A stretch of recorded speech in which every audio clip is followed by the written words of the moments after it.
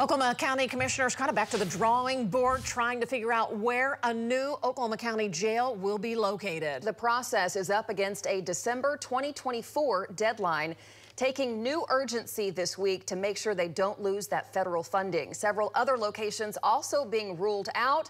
News 9's Tevis Hillis is following the do's and don'ts and where this list stands this morning. Tevis? Robin Lacey, good morning. Commissioners all thought the 192 acres out by Will Rogers World Airport would be the perfect place to build a new jail, but the FAA just sent the city a letter full of citing several hurdles if it's put there, including the airport not being eligible for federal funds. Commissioners tell News 9 this option is 99.9% out.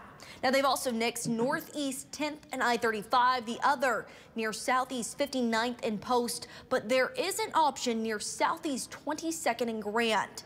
It is an industrial zoned area. The land has been considered for months because it meets all listed perimeters. For the first time since the search began, Crooked Oaks Public Schools voiced concerns. We put a lot of, you know, attention to student safety and we don't want to interfere with that further by having something like this. All right, here's the timeline. By December of 2024, federal money involved in this project must be encumbered, meaning it's part of a proposal or contract. And to use federal funds, the jail must be built by December 2026. Next week, the commissioners will meet again to continue this discussion. Live in the newsroom this morning, Tevis Hillis, Oklahoma's Own News 9.